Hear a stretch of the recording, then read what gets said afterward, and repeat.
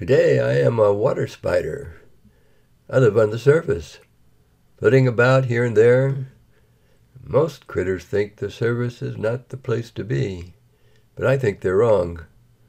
The surface is exciting. I never know what's going to pop up next.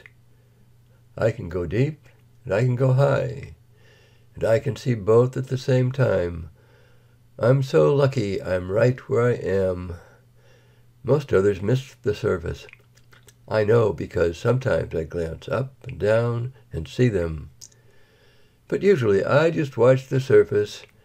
After all, I'm a water spider.